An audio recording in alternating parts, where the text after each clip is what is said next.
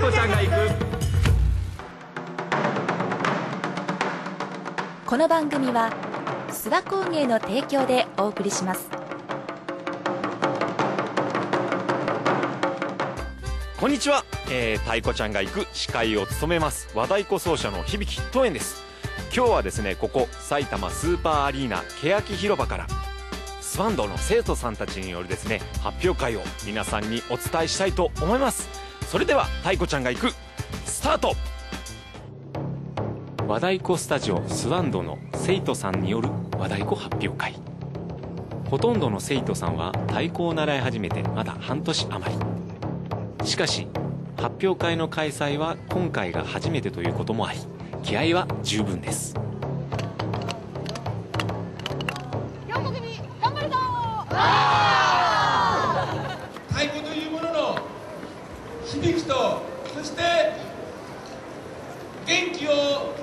たらすそんな楽しい太鼓経験をしていただいております。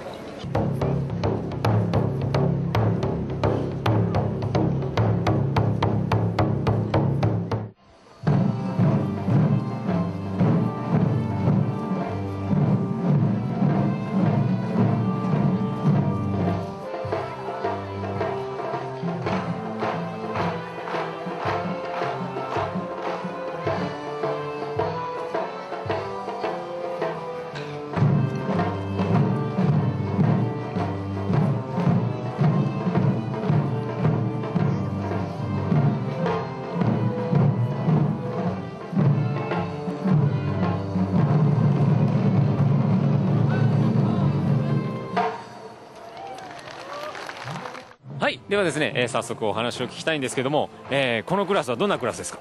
えー、と見ての通り小さいお子様とそのお母様で仲良く太鼓をやるクラスです。練習の時はどうなるかと思って、まあ、今日も外でやるのは初めてだったんですけどもう全然思ったよりとってもうまくできたと思います。今日は上手にできたかな？上手にできた。できたか？そうか。できたか？そうか。できましたか？ステージの上から逃げ出さないか心配だったんですけど どうにか一曲持ってよかったです。どうでした？今日楽しかった。楽しかった。はい。ありがとうございます。これからも頑張ってね。はい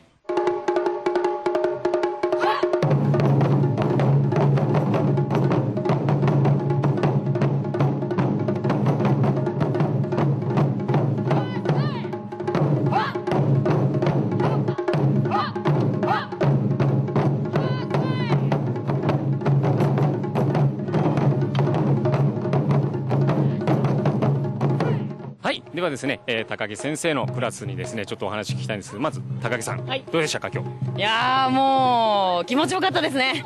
とっても気持ちよかったです。もう皆さん本当にもう最高の出来でした。今までの中で一番一番最高の出来でした。和やかな練習な感じですか普段？和やかです。和やかでもありでもありまあ厳しくもあり みたいな感じです。えーもうやっぱりちょっと、なあのーやっぱり緊張してるせいか、やっぱり大衆の目の前で初めての演奏なんで、ちょっと間違えました。いやもう半年間の成果が、まあ、思いっきり出せてあ楽しかったです、今日どうでした？とても楽しかった。出来が悪かったけど相変わらず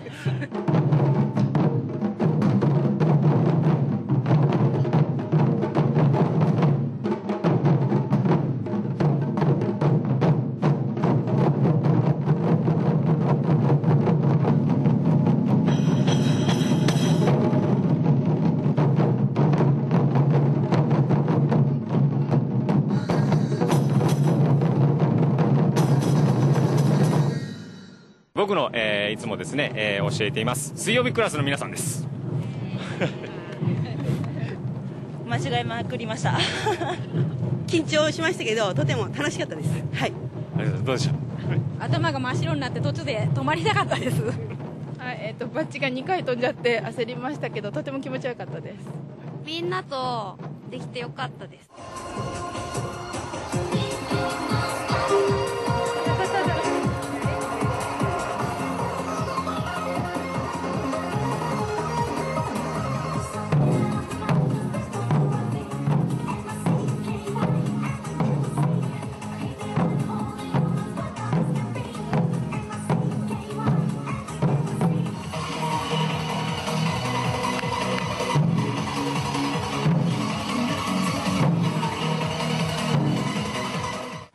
れ様でした。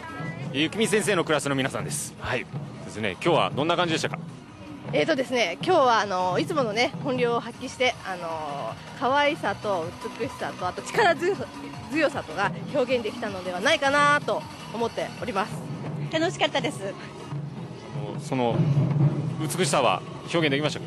できたと思うんですけど間違えちゃいました。無理 はい緊張してたんですけど楽しんでやれたんでよかったです。今日どうでした？楽しかったです。気持ちよかったです。今日どうですか緊張したと思ったんですけど楽しくてバッチリです。埼玉スーパーアリーナに太鼓スタジオオープン。太鼓に触れて心も体もリフレッシュ。子供から大人まで楽しめる無料体験レッスン実施中和太鼓スタジオスワンド。